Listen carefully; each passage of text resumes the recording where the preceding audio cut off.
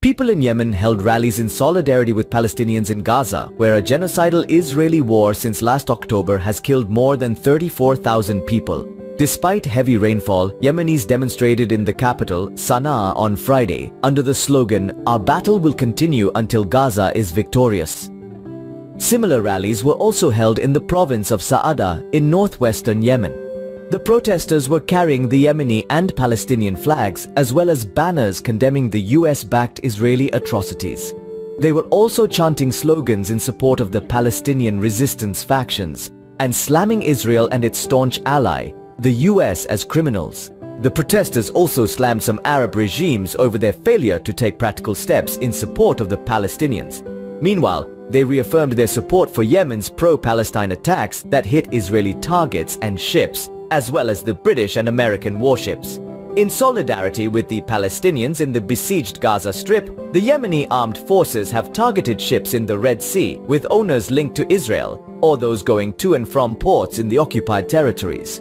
The US and the UK have also been carrying out numerous attacks against Yemen as means of trying to pressure the country into stopping a series of operations that it has been conducting in support of Gazans. Yemen has been conducting operations against the British and American warships that have been dispatched to the Red Sea to confront the Yemeni strikes. Also on Friday, crowds of people gathered near the Israeli embassy in the Jordanian capital, Amman, to express their support for the Palestinians.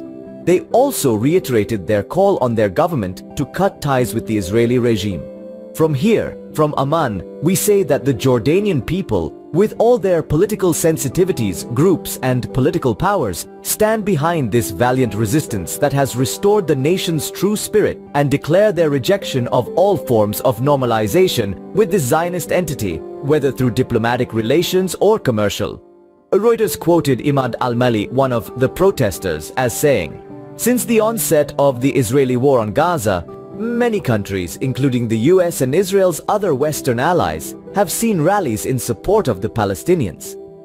Israel launched the war on Gaza on October 7th after the Palestinian resistance movement Hamas waged the surprise Operation Al-Aqsa Storm against the occupying entity in response to the Israeli intensified violence against Palestinians. Tel Aviv has also blocked water, food and electricity to Gaza plunging the coastal strip into a humanitarian crisis. Since the start of the offensive, the Tel Aviv regime has killed at least 34,012 Palestinians and injured nearly 76,833 others. Report by Press TV's website.